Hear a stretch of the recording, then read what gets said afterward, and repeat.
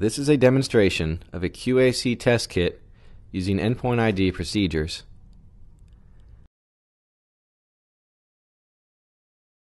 The first step is to collect your sample. Before you begin your test, it's important to rinse the vial three times with the sample to be tested. This minimizes the chance of contamination from a previous titration. Hold the vial close to eye level while pouring to ensure you have an accurate sample.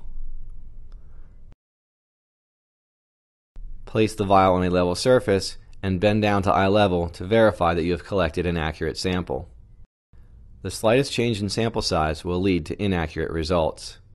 Using a white background while performing your test will provide contrast to help you better see the color changes. A white cabinet tray or a paper towel can provide that contrast.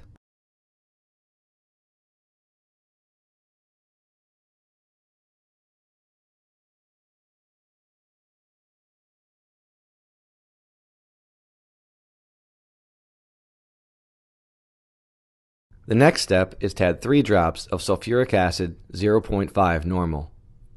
The bottle contains a dropper tip, so it's important to hold the bottle vertically to get a consistent drop size. Swirl the vial to mix the reagents. The solution will remain clear. Next, add 5 drops of QAC indicator solution.